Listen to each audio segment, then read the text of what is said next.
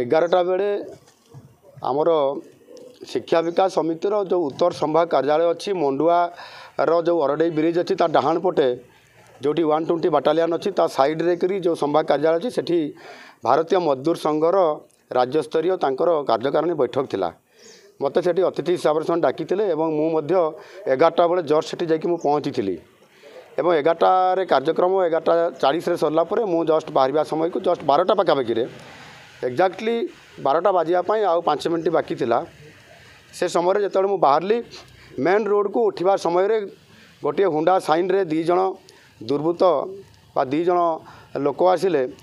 କଳା ସାର୍ଟ ପିନ୍ଧିଥିଲେ ଏବଂ ସେମାନଙ୍କ ଭିତରୁ ଜଣେ ଓହ୍ଲେଇଲା ସାଢ଼େ ପାଞ୍ଚ ଫୁଟର ପିଲା ସେ ଓହ୍ଲେଇକରି ଗୋଟିଏ ବମ୍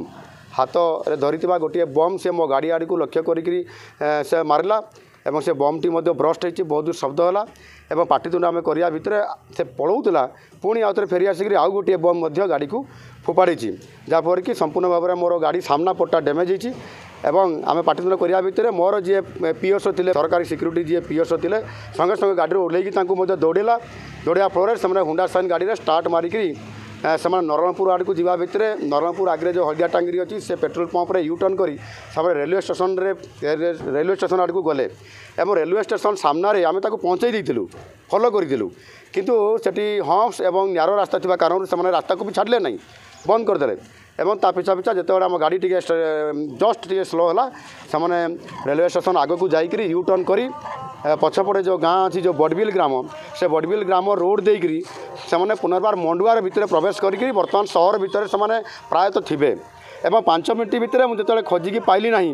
সঙ্গে সঙ্গে টাউন থানা আইএসিঙ্ পাখু আসি দেখা করি বর্তমান তাঁকু মু এ বাবদে কমপ্লেনটা দিয়েছি এবার এফআইআর কপিটা মধ্যে মু দেওয়া যাচ্ছি এবং সম্পূর্ণ ভাবে মু জানি না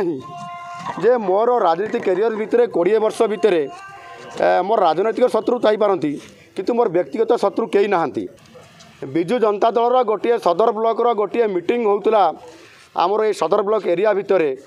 ଯେତେବେଳେ ହେଉଥିଲା ସେତେବେଳେ ବିଜୁ ଜନତା ଦଳର ଜଣେ ବରିଷ୍ଠ ନେତା ରାଜା ଚକ୍ର ସିଏ ତାଙ୍କର ସୋସିଆଲ୍ ମିଡ଼ିଆରେ ଯାହା ଭାଇରାଲ୍ ହେଇଛି ମୁଁ ଯାହା ଦେଖିଛି ସେଥିରେ ସେ ନିଜେ କହୁଥିଲେ ଯେ ଆମେ ସଦର ବିଧାୟକଙ୍କର ଅଣ୍ଟା ଭାଙ୍ଗିଦେବା ଏବଂ ସେ ଯେଉଁ ଅଣ୍ଟା ଭାଙ୍ଗିଦେବାର ଅର୍ଥ କ'ଣ ଅର୍ଥାତ୍ ତାଙ୍କୁ ମାରିଦେବା ଜୀବନରେ ମାରିଦେବା ଏ ପ୍ରକାରର ତାଙ୍କ ଅର୍ଥରୁ ଯାହା ବାହାରୁଛି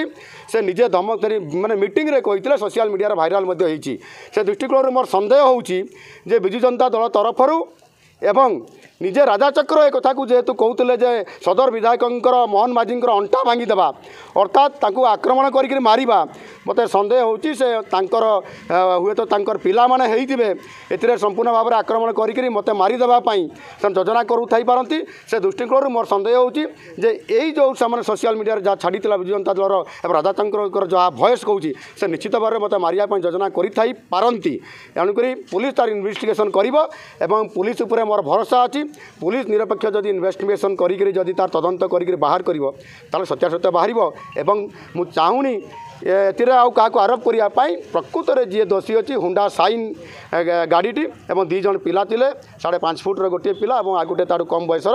ଏବଂ ଏଇ ଯେଉଁ ଗାଡ଼ିଟି ଆମେ ତା ନମ୍ବରଟି ବି ଆମେ ଏଠି ଥାନାରେ ଦେଇଛୁ ଏବଂ ଏଫ୍ଆଇଆର୍ ଏବେ ମୁଁ ଦେଉଛି ଏଥିରେ ନିଶ୍ଚିତ ଭାବରେ ମୁଁ ଦାବି କରିବି ଜିଲ୍ଲା ପ୍ରଶାସନ ନିକଟରେ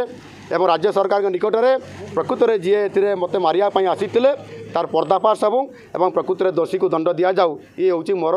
ଏ ଜିଲ୍ଲା ପ୍ରଶାସନ ଏବଂ ରାଜ୍ୟ ସରକାର ନିକଟରେ ମୋର ଦାବି ଆମର ବାଟାଲିୟନରୁ ବାହାରିଲା ବେଳକୁ କୋଡ଼ିଏ ମିଟର ପଛକୁ ଆମେ ପହଞ୍ଚିବୁ ରାସ୍ତାକୁ ଉଠିନୁ ସେପଟୁ ରାସ୍ତାରୁ ଦୁଇ ଜଣ ଦୁର୍ବୃତ୍ତ ଆସିକି ଦୂରରେ ଟିକେ ମୋଟରସାଇକେଲ ରଖିଥିଲେ ଆଉ ବମ୍ ଇଏ ଦୁଇଟା ବମ୍ ମାରିଲେ ଏବଂ ସେ ବାଇକ୍ରେ ଆମେ ଗଲାକୁ ମୁଁ ଓହ୍ଲେଇକି ଗାଡ଼ିରୁ ଦୌଡ଼ାଇଥିଲି କିନ୍ତୁ ସିଏ ପଳାଇଥିଲେ ଆଉ ଟୁ ଆର୍ଟସ୍ ନରମପୁର ଲାଇନ୍ ଗଲେ